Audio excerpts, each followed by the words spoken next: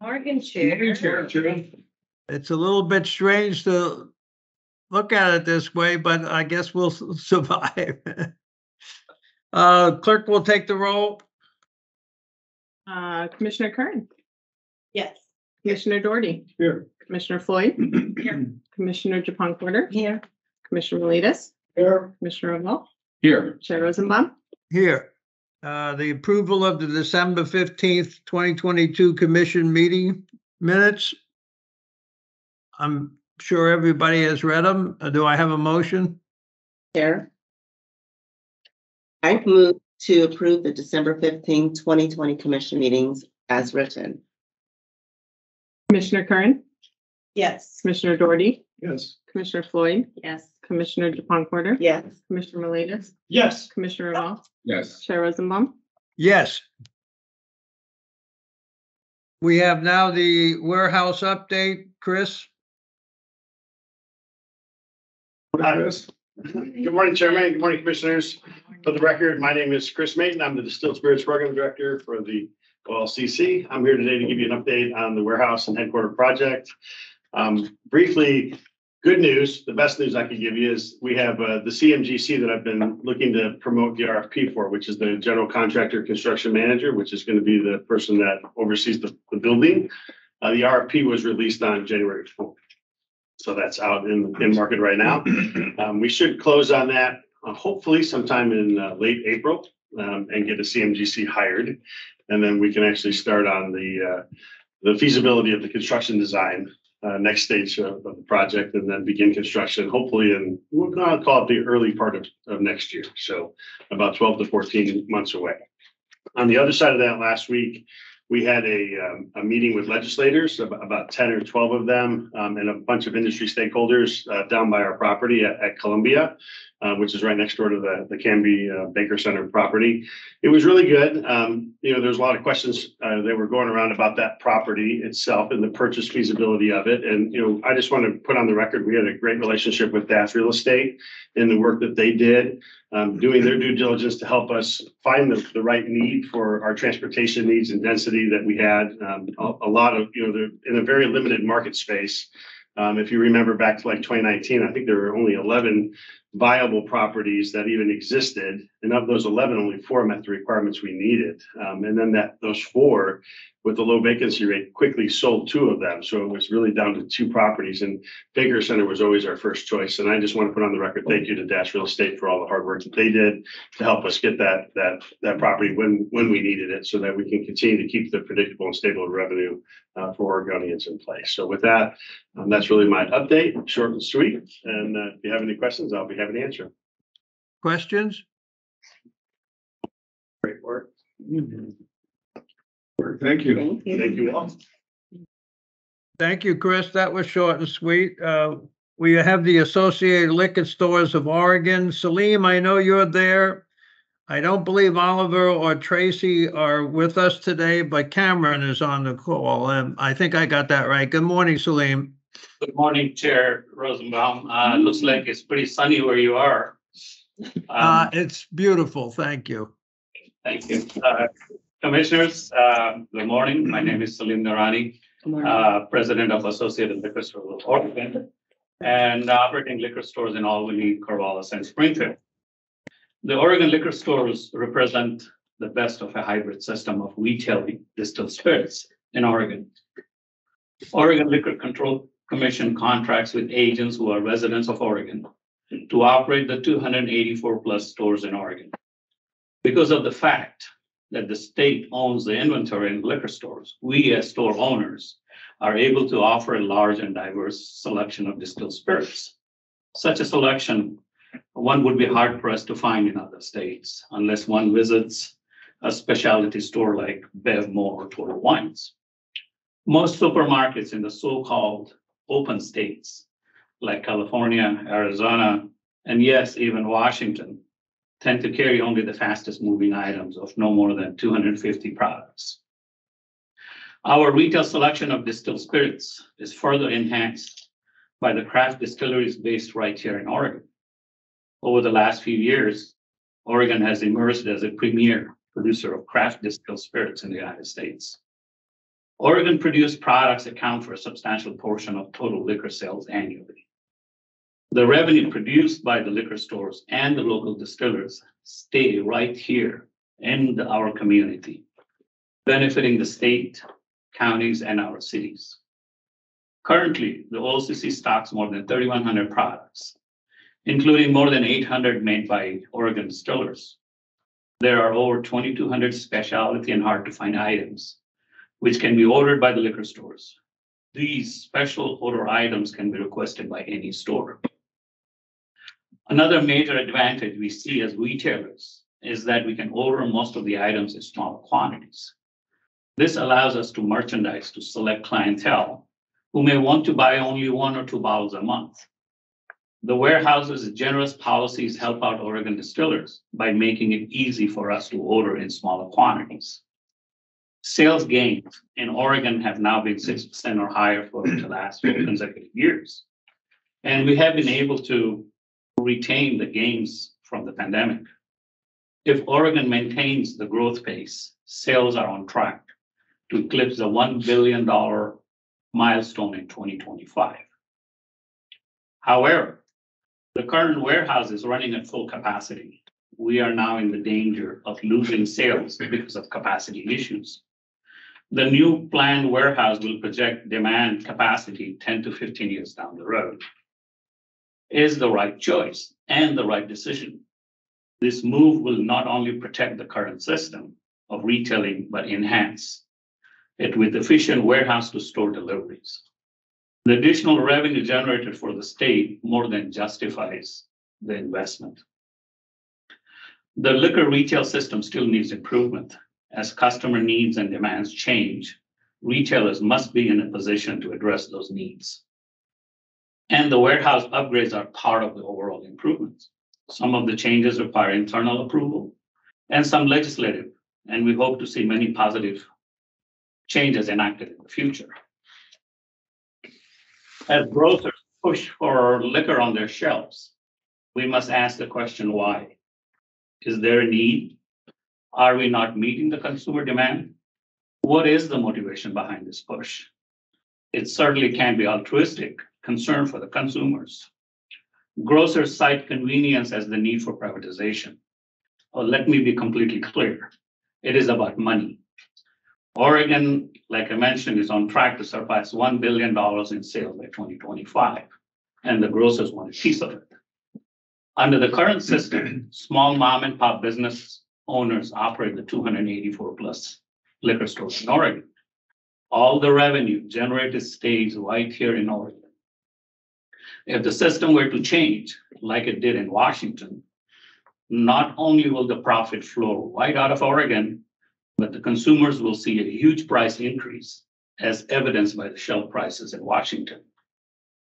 I certainly understand the convenience argument of being able to purchase your liquor along with your groceries. There are some grocers with liquors, liquor already on their shelves. I suggest the next store expansion be limited to grocers only. Give them the exclusive opportunity to apply for store expansion. We will see how many grocers step up to the challenge and take advantage of the opportunity to provide the so-called convenience for the Oregonians. They are so concerned about it that they spent over a million dollars on the last ballot measure effort in twenty twenty-two. Under our current system, the state of Oregon has the exclusive right to store, distribute, price, and sell packaged distilled spirits to state licensed retail stores. This regulated system ensures stable pricing for customers, gives smaller local Oregon-based distillers the ability to sell their products to consumers statewide, and ensures that the sales are regulated to keep liquor out of the hands of minors.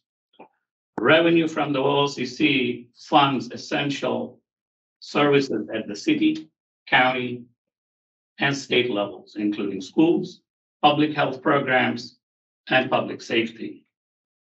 I would suggest, also suggest a legislative solution of capping the off-premise outlets licenses similar to open states based on population. Switching gears, in our last presentation, uh, we had expressed concerns over the rate of shoplifting, burglaries, and break-ins. I understand there are legislative proposals for the upcoming session. It breaks my heart to announce that one of the new expansion stores, due to the high number of break-ins, the landlord is not renewing the lease. Um, if you allow me a couple of minutes, I have a statement from him that I would like to, uh, read for you. And this is, this is the PDX store at, uh, by the airport. Um, shoplifting was something that took place all, almost on a daily basis. And we had the highest claims and police reports in the state. I'm told that we were very vigilant about keeping up on those we could actually identify, although I'm certain we missed a lot. We had a string of four overnight break-ins in addition to all the hostility and threats the staff constantly faced. To ensure the safety of the staff, I was forced to hire armed security five days a week at a cost of over fifty thousand dollars a year. Mall security and management were well aware of the challenges we faced.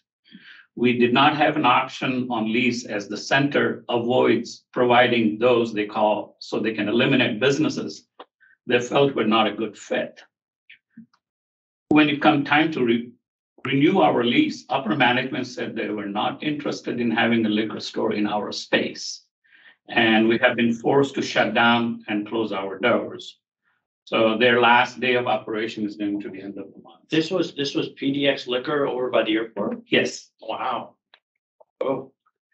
So his final paragraph or comment is that after over seven hundred and fifty thousand dollars of investment, considerable time and effort in building a beautiful space and business, and finally getting to a point where we have sufficient sales to start recouping our time, energy, and investment, we are essentially out of business and have nothing to show for it. This is very sad it's a sad set of affairs, and I think um, given the number of shoplifting and burglaries, and all that, that um, uh, we, you know, as a commission, really need to put um, some serious uh, emphasis on on this on this problem. I understand that there was a three-person um, uh, group or committee that, uh, and, you know, we haven't gotten much of an update, and I understand also that the lead person is, uh, no longer part of that group, so I would suggest that the commission, um, look at that and follow up on what, we can do, what can we do to to help, to help the agents. Um, I think also that the commission should consider some kind of a reimbursement for, for the agent. It is no, it's through no fault of his own that he's being driven out of business literally. Um, when we last Quick presented question, to, Salim. When- Yes. When the PDX, um, by the airport, how long has he been? That was the second expansion, do you know? Was it the first? How long has he been in business? first. It was a first So, expansion. five- Five year, So only it's five years, so generally you get a five year lease. Um, That was a high volume store, wasn't it? I mean, right over the, Five yeah, million, five million. Jesus. Huh.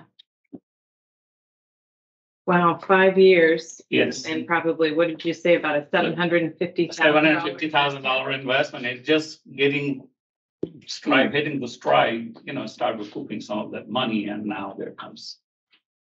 That's sad. Um, when we last presented to the commission, I also touched on, uh, market-based cash value for our liquor stores. A market-based value encourages existing, both large and small store owners to make the investment in upgrading their store providing an enhanced and convenient one-stop shopping experience. Here is why this policy change is a positive move. Previously, existing liquor store owners had no incentive to remodel, upgrade, or invest if they could only look forward to a goodwill just on the liquor sales.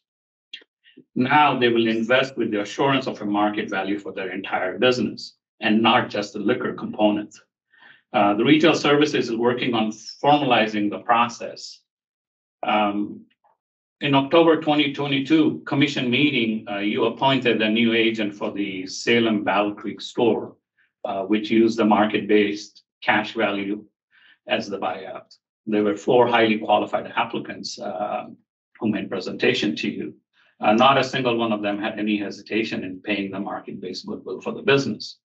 The ROI on the store was under four years. It's a great investment opportunity, and one can find a business investment with such great returns while serving the residents of Oregon.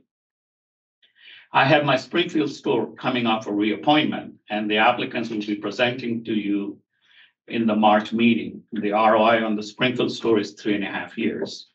A substantial portion of the profit margin is generated by non-liquor add-on items to the liquor purchases. This store provides a truly one-stop shopping experience for consumers. We, as an association, also have been advocating to the liquor store owners to expand their space, upgrade, stock beer and wine in addition to distilled spirits for an enhanced consumer experience and an untapped revenue stream. I have joining with me um, remotely Cameron Scott of Griffith, Dreher and Evans, a business valuation and CPA company. Uh, they provided both the Battle Creek store and my Springfield store uh, with a market-based value report. Uh, Cameron can provide you with a quick summary on how the values are derived, uh, as well as any questions that uh, the commission may have. Cameron? Good morning, everybody. Thank you, Salim. Uh, like Salim mentioned, uh, I work for a CPA and business valuation company based out of Spokane, Washington. Um, our firm is designed to provide business valuations for small to medium-sized businesses, typically under uh, 10 to 20 million dollars in sales. Um, our valuation uh, is focused on providing an effective solution for business owners to achieve a valuation for various processes, uh, specifically for what Salim's talking about here is for business sales or for financial planning. Um, a little bit about our valuations. Um, we are uh, part of the National Association of Certified Valuators, uh, NACVA, based out of Utah. Um, they are one of the primary valuation associations in the United States. Um, all of our valuations are uh, in accordance with the AICPA, which is the CPA Board of Governance, and then also um, the Uniform Standards Professional Appraisal Practices, which is uh, what the Small Business Administration follows for their valuation processes as well. Um, in our valuations, we do three. Uh, one of them is a market approach where we look at similar businesses, uh, for example, similar liquor stores in similar revenue ranges, and we use multiples that we can derive off of various uh, databases. Another approach that we use is an income approach, which is based on uh, the specific company at hand's cash flows. And the last one is a, is a uh, asset approach, which is essentially a, a liquidation value. Worst case, we had to shut down the business tomorrow. What kind of value could you derive from your business? Um, in most cases, um, we almost rely on, we almost always rely on the income approach. It's a value specific to the business at hand. It's based on their tax returns, typically at least three years worth of financial history. Um, and what we do is we we pull together at least three years worth of tax returns. Um, we make various adjustments to get it to a fair market value basis. And what example of that is is if owners are overpaying themselves or underpaying themselves, we have to think of ourselves as investors coming into a business and we're not going to overpay an employee just because we want to, or we're not going to underpay them. We have to pay fair market value rates. Uh, for and another example is rent expense. Sometimes, maybe not as familiar with you guys in your industry, but uh, many times business owners own their own real estate and they can charge themselves whatever rent they want. Uh, so we need to adjust that to what a fair market value rent expense would be. Um, another area is we eliminate discretionary expenses, any kind of non-recurring expenses, such as what we've recently been seeing is PPP loans or other grants that don't reflect uh, operational income. So we're trying to derive a true normalized operational income, look at historical earnings, and use that historical earnings to project a future earnings. Um, so one piece of that is the income cash flow stream. Another part is the rate of return, kind of what uh, was talking about, a return on investment of three, three and a half, four years. We see most small businesses sell anywhere from two to five times their cash flow stream, depending on the size and the industry and the risk factors specifically associated with that business. Um, one thing to note about our evaluations and what we do is um, we produce valuations that we think can be loanable. Um, and what I mean there is we do a lot of valuations for small business or SBA banks, and they come to us because in the SBA process, when uh, borrowers are looking at an SBA loan and specifically a 7A loan, the SBA requires they go get their own independent appraisal of their business as a final check mark for the bank, um, similar to a real estate appraisal if you're going to go sell real estate. And the banks look at uh, business values based on cash flows. They want to ensure that, hey, if this business is going to do this cash flow, can they afford this debt service payment? And we have a similar process. We make sure that our valuations uh, can be paid back in a loan. And typically that's, you know, right now it's a little more challenging with interest rates, but um, that's really the, the core value here is to make sure that our valuations uh, can be afforded by a business owner coming in and buying that business. Um, it's also want to make sure that we're getting the highest value for our for our seller because we want to maximize that value as well. Um, so that's kind of the standard, the process of our evaluation. Um, we've really done our best to to make this as effective and simple as for business owners. I hope uh, Salim can attest to that. Um, does anybody have any questions in regards to our valuation process?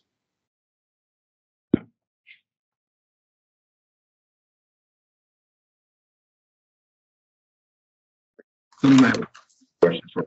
based on Yeah, I, I- one very quick one. Uh, has the IR, have you had conversations with the IRS about your, your evaluation methods and so forth? I assume you have. Yeah, great question. So the IRS has a standard evaluation that they like to see, and specifically for estate planning, gift tax, or for various areas where tax comes into play. They go under the fair market value standard of value. That is the same standard of value that we rely on as well. What that essentially means, and I could read you the def the exact definition, but I'll save you the time. Essentially means it's it's an arm's length transaction. A hypothetical buyer knowing all the facts, a hypothetical seller knowing all the facts come together on fair grounds and make a deal. Um, so we utilize the same standard of value that the IRS likes to see, uh, just because we do all of our evaluations, whether it's for estate planning, gift tax planning, business sales, business purchases. We use the same across the board to make it effective for our clients. Thank you. Chair Rosenbaum, Commissioner? Tony, a couple things. Uh, one, I'm on that group about the crime. And it has not been put on the back burner. So we're, we'll be getting information, uh, as to what we've been doing and what we'd like to have happen, uh, very soon to you. Okay, And I, that's the I, organization. I- So thank- that's, you know. that's thank important you. to me. I, I appreciate that because I hear a lot from, from uh, store owners, you know, and they have seen the presentation that we have made to you and expressed our concerns and um, there has been not much in terms of communication back to, to the agents. So, you know, we would appreciate then some kind of feedback too, so that, yes, you know, we have not forgotten about you. We're working on it. And so I appreciate that. In addition to that is, as it relates to um, new warehouse, uh, first off, I want to thank Rosie for putting together that representatives and senators that showed up because they need to know what you know and what other uh, licensees know is that in order for us to continue what we're doing in the future, we have to have additional space. Uh, We have long been over, have overcapacity in what we're trying to do. So uh, Rosie, I see a a picture of you someplace here. I want to say thank you because it's important that the legislators know that what our licensees need to have is, and what the consumers need is the ability to do our job. And we can't do our job if we don't have space to do it in. On the other side of it is, as it relates to the expansion, um, I like your idea about, you know, if the stores, grocery stores want to have liquor. Uh, and one of our first expansion scenarios, we allowed the national chains to participate in that process. And when it was all said and done, they backed out of the deal. So it, this is about money. This is about, they don't want control. And when I said national carriers, I do mean international as well. They didn't want to follow our rules. They didn't want to pay, having funds go through, how we wanted to have funds to go through. So I'm more than happy to say, hey, national chain, you want to have liquor uh, on your shelf, please apply. Here are the rules and regulations. And all you have to do is, is play by the rules. We're more than happy to help you. They don't want to do that, or they haven't been wanting to do that in the past. So expansion, I like that idea. Um, we, we want to listen as long as responsible selling of the products that we have. Um, and I think we're gonna have continued discussions around, uh, market-based sales of what hap, what happens with the liquor business is not just the bottles on the shelves. We understand that. So we're gonna keep working with you. And we're gonna keep looking at the different opportunities out there. And we do need the legislature to understand why we're doing what we're doing from a business perspective. Uh, it's, it's important because we continue to try to be, uh, ahead of the game and not behind. So thank you very much and your team. We'll be back to discuss things with you. I appreciate, it. appreciate the comments. Any Great other job. questions? Oh, uh, great job. Keep up the great work. I, yeah, I think it's, it's great that you're willing to, to work with the grocers and down on the have conversations, because we all, I think, I mean, and what I thought is encouraging is there is some grocers that have taken us up on the store, the store model, mostly the local ones. So I, I think it's good that we're all, you know, that, that we're, we're trying to preserve a system that works really well for the state and that we're all on the same page, because we're all, we're on the same team. So that's, that's good. You're extending all the branch there. Uh, And Salim, thank you. And I live in Sisters, Oregon, and we Ray's grocery stores, got a liquor store inside there, so they, it does work and we're we're willing to work with them to, I, I make that happen. Salim, I have one question before you go. Yes, Chairman. What is the percentage of liquor store owners who are not in your organization? I'm, I'm, I'm, it's, uh, embarrassing to say, um, that even though we advocate so much for all the, all the store owners in Oregon, uh, whether they are members or not, um, but we have about a fifty percent, uh, participation rate. So fifty percent of the liquor store owners in Oregon are not part of your organization? Um, I would, I would, I would, uh, suggest I look at it as, as, uh, my glass is half full. So fifty. So, so when you come in front of us and you talk about all of these critical issues that's, that's affecting every single store owner and their livelihood, their pensions and everything else. You're telling us sitting here today, this is not any criticism of you, obviously. You do a fantastic job, but fifty percent of the liquor store owners in this state don't even participate? Uh, Chair, Chairman, I'm sad to say this. Yes, you are, you are correct in your observation. Um, Dan Miner just, just pointed out to me to make sure um, that you understand that the members, the, the stores who are members of our association, uh, they produce seventy percent of the revenue as well. So we have some smaller stores and we have made it very, you know, we have even floated the idea for them that, you know, hey, if you want to take advantage of a one-year free membership. Um, so we have had very few people actually even. Well- uh, Take advantage of that. You obviously understand why I'm bringing this subject up. I can't understand in any way, shape, or form any liquor store owner in this state who doesn't have an interest. Um, their livelihood, their business, it's almost insane for them not to be part of your organization. It makes no sense at all. Thank you. I appreciate your time and effort. Thank you, sir. Uh, The next is the vote on extension of the fifty percent, fifty cent surcharge on the still spirits product. Um, I, just one quick comment on this. This is never a quick comment. Um, This is an ongoing issue. Uh, While we're taking a vote on it today, we've had extensive input from the public. We have extensive conversations. And um, we are completely aware of what this issue is. There's been a lot of communication and discussion on it. And Steve, I'm going to turn it over to you at this point. Uh, Mr. Chair, this is the, uh, only the continuation of the temporary fifty cent surcharge that you know, has been around for a decade. Um, commission acts on this, uh, usually we act in September. This year, we're acting on it in January up for your consideration. It's been properly noticed. We've had it out for public comment for the required days. And it's uh, in front of you for final action. I'll just remind you, this is the charge on bottles uh, that goes directly to the general fund of the legislature.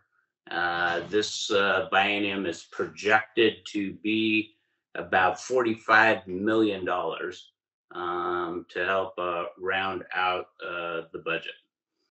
So with that, Can you hear me? Commissioner, Chairman Rosenbaum? Commissioner?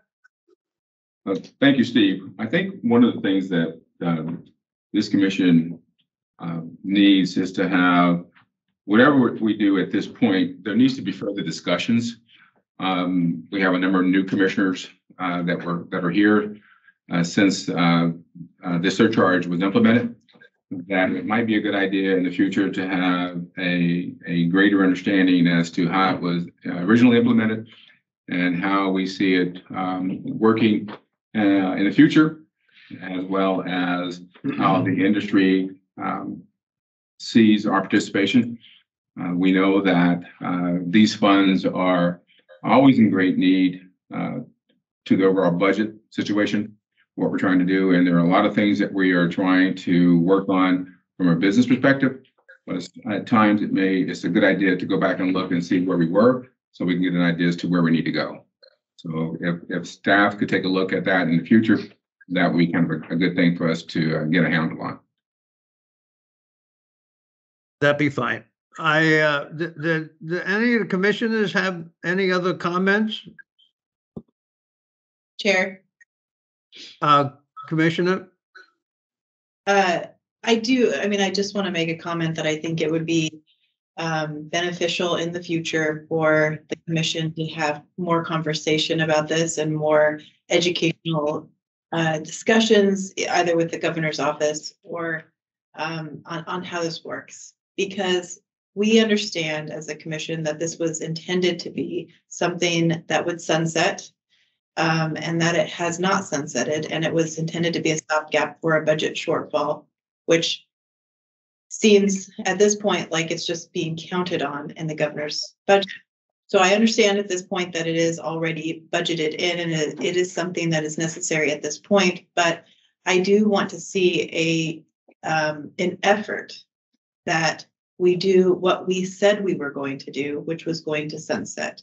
And so in the future, we would like to see, I would like to see us uh, make an effort to actually do what we said we were going to do, which was to sunset this provision.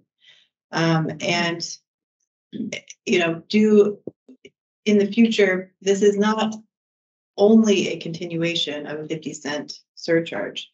This 50 cent surcharge impacts are the Oregonians and the constituents that we serve.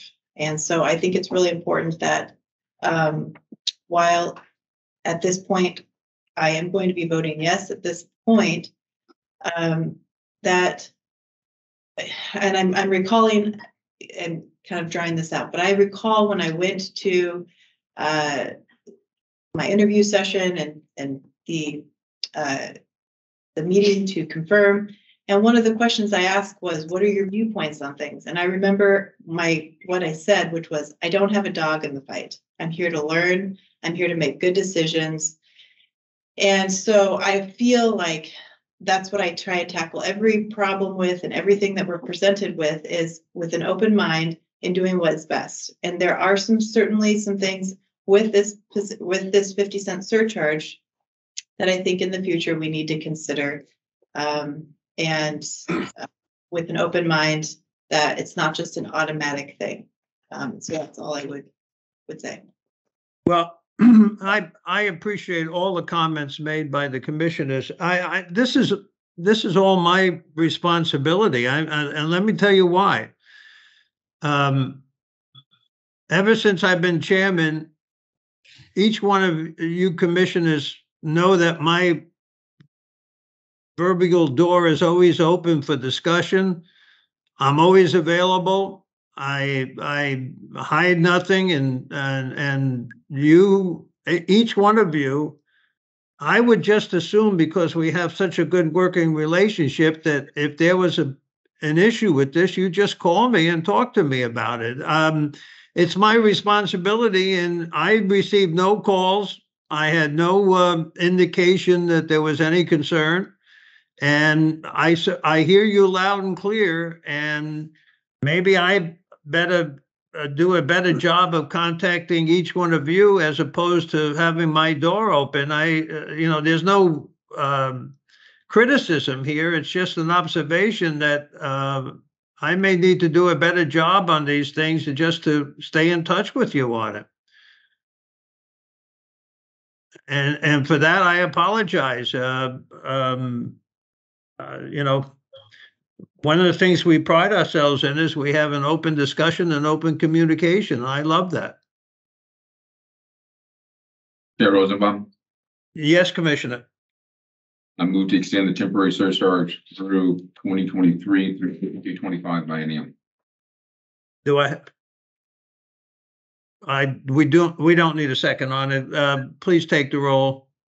Commissioner Currin, Yes. Commissioner Doherty, Yes. Commissioner Floyd, Yes. Commissioner Japong Porter, Yes.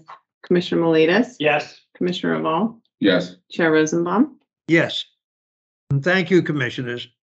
Um, compliance, uh, let's take them separately. The alcohol stipulated settlement agreements. Does anybody have, uh, well, uh, let's not take your job away from, I always do this.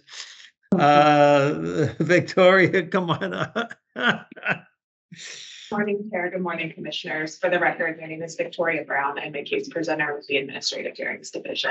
We have four alcohol settlements and one marijuana settlement for your consideration today. Um, I'm happy to answer any questions you may have. Commissioners, Uh, Chair Rosenbaum, Commissioner Floyd. Commissioner? I've got a- just a quick question on the, uh, all-in-one market. Was this person buying alcohol, was, were they in fact, uh, a minor or were they just presumably under twenty-six years old? Uh, Commissioner Floyd, this was a minor decoy operation, and so they actually were a minor. They uh, were. They had their true ID with them available for inspection. So they were a minor. Yes. Isn't that usually a cat one? This is a cat, a cat two? Uh, Commissioner Floyd, this is a Cat two B, um, and so it is a, um, presumed ten day or twenty-five hundred dollar civil penalty. Aren't they generally cat ones, um, serving in minors? No, I don't believe so. And Okay. they- And are you think, are you thinking the distinction between minor and juvenile? Minor being under twenty-one? Yeah, minor being under, yeah, so these are, I believe, these have always been, or they used to be category threes and now they're category two Bs. Okay, okay. Thank you. That was, that was my question. Sure.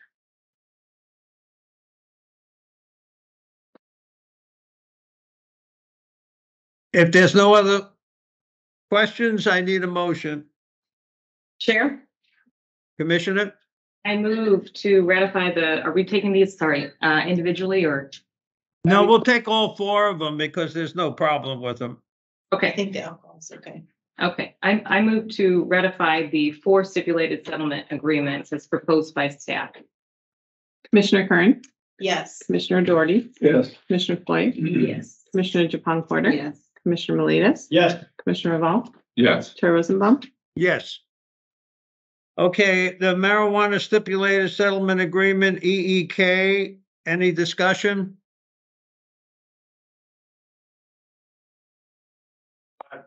No discussion. I know the operator, good operator, sounds like it was a mistake and they've rectified it. Uh, correct, Chris- uh, Commissioner Maletis. This, there was, um, three violations here at issue. Um, there was no indication that there was, um, diversion in any of them, and they were very responsive to commission, the, uh, commission's request to pull products. I, is there any further discussion? I just want to tell you that I had a conversation with staff and Steve yesterday on this one.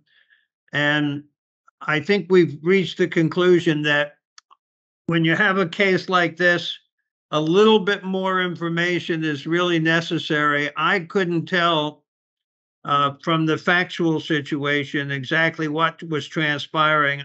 I thought it was much worse than it really was. And the fifty pounds was a significant amount until it was explained to me. So I didn't want to waste the commission's time on this, so I asked for staff to, uh, to brief me on it. And I think in the future would do us all well if, if on cases like this, the staff will give us a little bit more detail. Thank you, Chair Rosenbaum. Okay, I need a motion. Chair, Commissioner, I move to ratify the stipulated settlement agreement for uh, EEK as proposed by staff.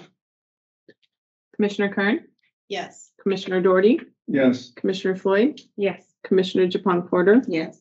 Commissioner Maletis, Yes. Commissioner Hall, Yes. Chair Rosenbaum. yes. Thank you. Thank you. We're on rules now, Nicole.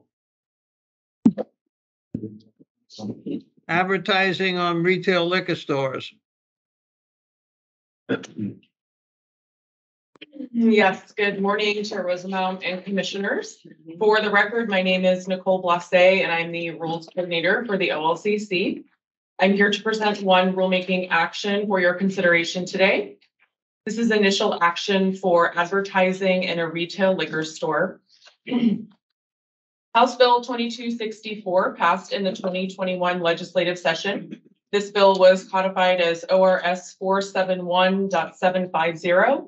It deleted language that prohibited signs or displays within a store to be visible from the outside store and added requires the LCC to Just one second. There we go. Go ahead. Yeah. Okay, It requires the OLCC to adopt rules governing advertising in such stores. In response to this legislation, commission staff proposes to initiate rulemaking to update OAR eight four five zero one five zero one seven seven to reflect the legislative changes. And staff or I would be happy to answer any questions. Chair Rosenbaum. Chair, I'm sorry I muted you. Can you unmute yourself?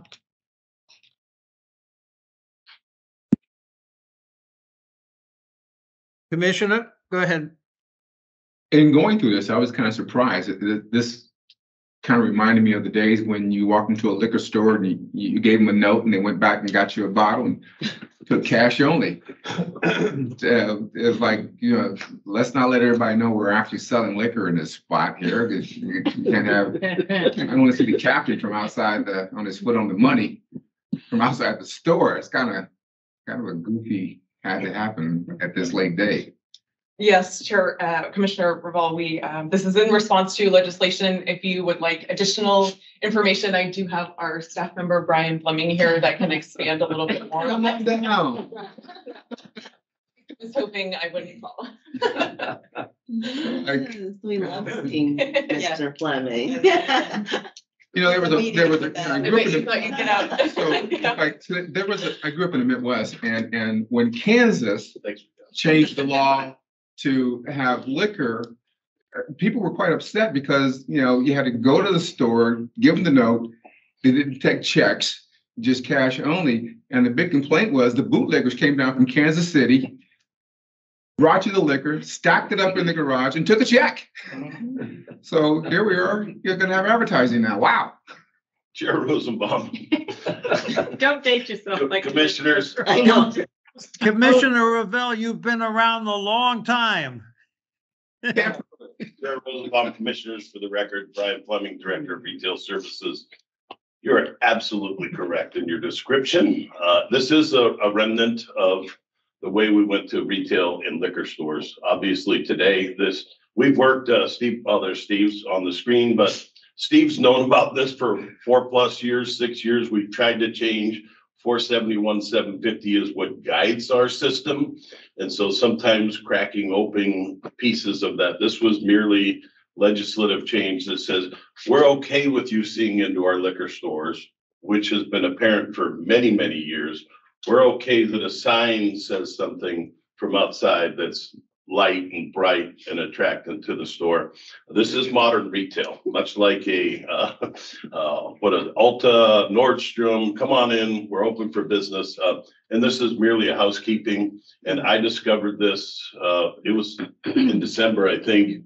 Uh, Nicole worked, uh, very swiftly to get this in front of you because um, we, we really didn't enforce what you could see, you know, twelve feet back from the wall, but that's essentially said, you can't see that sign that's twelve feet inside the store.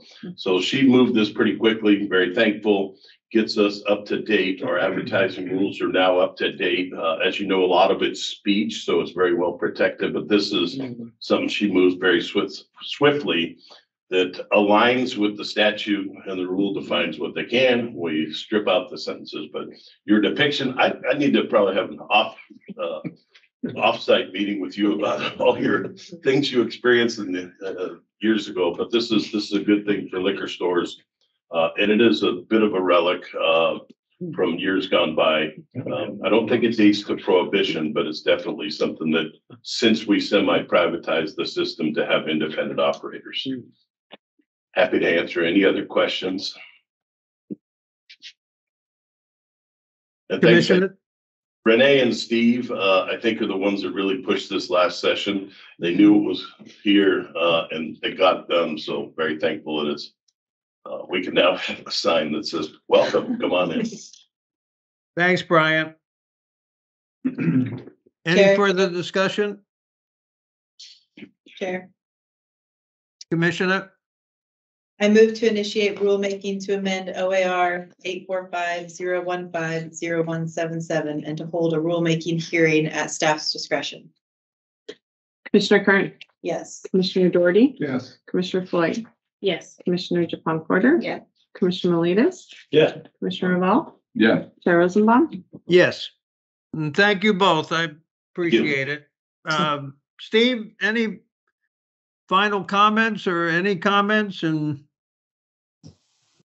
Um, no, I appreciate, uh, the discussion on the surcharge. You know, I will remind you, and the legislature well knows with that surcharge and our markup, we are right there next to Washington amongst the highest in the country in markup and prices. And that is, you know, a competitive, uh, issue for us and it also affects revenue. So certainly raising this, uh, going forward is very important. We had those comments, particularly from the industry, uh, in the record. And uh, I will make sure to carry that forward with both the legislature and the governor's office. I will note there is some legislation uh, being introduced that would consider making that a legislative action. It would redirect some of it to the Distillers Guild. That's obviously a concept they're working with with the legislature. And uh, we'll uh, make sure you're fully informed about that and how to guide, you know, support or guide their desire to get um, uh, a distribution from the surcharge, perhaps without uh, a legislative action. Um, and because of your intentness on uh, looking again at the temporary nature of that surcharge. So I appreciate that discussion. Um, you know, if you noticed, I think some of you saw us, our press release, we had some tainted product with hemp inside our system that got out to the wild with uh, in the general market as a hemp product. It probably had too much THC. There was a little confusion about exactly what the products were. There weren't good records. Uh, we initiated the recall inside our system, but outside our system, you know, in the general markets, you know, it's not entirely clear to us, you know, who has full authority. The company, uh, Firefly, um, work cooperatively with that. Um, so we made sure customers in the open market and retailers were apprised of the recall of those products uh, that are out there. There wasn't, uh, at least I, I uh, recall that we didn't have, um, you know, they weren't everywhere across the state. It was probably in the, I might have my numbers wrong here, so I'm not going to put it out there. Um, but I think it was a contained quantity and we're looking to specific places. And we thought that it was potentially already consumed because it had been out there sold and consumed for a while. Um, we are not aware of any health effects related to that product. We, uh, uh, to date, or to my knowledge to date, we have not received a complaint about that product. Um, but wanted to just, uh, say that there is this point of confusion and authority underlap, probably not overlap, on in the general market with these products that are cannabis related, um, how we provide oversight. Of course, that could be solved with more FDA oversight of this uh, hemp derived products in the marketplace and uh, uh, clear testing standards. Uh, but for the time being, we did everything we could um, to protect consumers in Oregon. Chair Rosenbaum? Commissioner? Steve, you know, the, the old insurance guy in me still had questions about, do we have any liability as, as it relates to, uh, product liability with all the products that are being produced that are in our, any of our stores or licensees? You know, I'll get the real legal answer for that, but no, uh, not generally for us. Our, our, our licensees may have, right? Um, they're not protected by, you know, like alcohol over all those years has got product liability protections. We haven't built, that has not been built up around the cannabis industry. Um, dram shop type laws that are uh, in other states and otherwise. So um, it's still in evolution in this. And you remember there weren't insurance products even available because it was federally illegal. So that that that policy area uh, has not really developed in Oregon or across the country significantly. A few states have addressed, and I can get you more information on that, Marvin. Thank you. Vol. Any other questions, commissioners? Well, it's nine fifty-nine. I think we set a record today. With nothing else, I move to adjourn. Marvin, uh, And- Mr. Chair, I just do want to note, I will be, right, we're testifying in front of uh, Chairman Bynum's committee, House Economic Development today. They want a background on uh, OLCC systems, a number of uh, industry folks, public safety groups. I think they'll have uh, prevention and drug treatment uh, groups next week We'll follow on that. Uh, But we really do appreciate the opportunity to get an early start uh, educating the committee on what OLCC does and what some of our priorities are coming up in this session. Particularly, you know, those ones that are ours are really getting a handle on home delivery in a systemic and accountable way for deliveries to happen at the door of alcoholic products. And on the marijuana side, the task force has a number of bills. We really have more people carrying our marijuana related policy legislation than us. For us, though, uh, one of the primary, a couple of the primary pieces are really getting that reference lab in place with the Oregon Department of Agriculture so we can test final products and a program for us to have uh, more authority in working to get lab compliance and oversight in place. Um, so we'll be talking to them about those priorities and uh, appreciate the commission meeting. Thank you very much, Commissioner. One, one final thing, both you and uh, Rosie, please keep in mind, all the commissioners had indicated at the last meeting that uh, they were willing and able to help in the legislative process, and I hope that you uh, utilize all of us over the coming months. Thank you. Have a wonderful day, everybody. Good.